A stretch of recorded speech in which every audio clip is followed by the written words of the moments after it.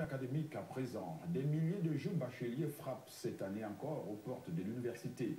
Et à chaque fois, la question des infrastructures d'accueil se pose. L'équipe La Certivier est allée voir sur la colline de Moekele, celle qui a accueilli dès 1960 l'Université fédérale, puis l'Université du Cameroun avant la réforme de 1993 qui a créé l'Université de Yaoundé 1.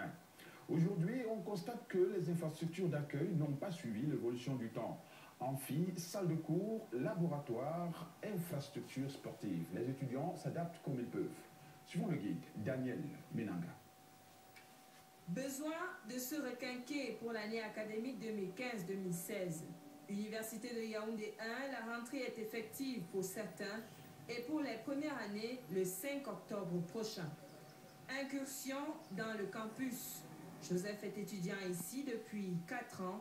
Il nous décrit le cadre je fais librement mes cours, je dors bien et je mange bien, comme nous avons également un restaurant. Mhm. Donc je peux dire que ma vie à l'intérieur du campus est vraiment complète. Il y a des lits qui sont disponibles pour tout étudiant.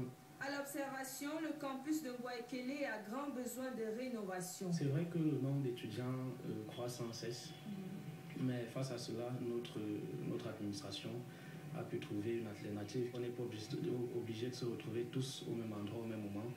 Il y a des programmes en ligne. Nous avons l'intranet qu'on a pu installer au sein de l'université. Ici, l'amphithéâtre 1003, le plus grand de l'université de Yaoundé 1 en termes de capacité. La grande salle de cours semble être à l'abandon. Un tour aussi dans la cité universitaire. Les locaux sont décrépits, mais pour les étudiants, c'est déjà un privilège d'avoir une chambre ici.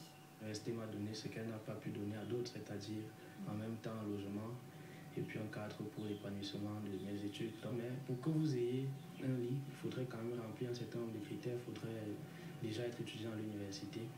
L'université de Yaoundé 1 existe depuis 22 ans. Depuis, l'institution opère des mues épisodiques. Là, par exemple, l'administration indique en offre que l'infrastructure abritera des bureaux.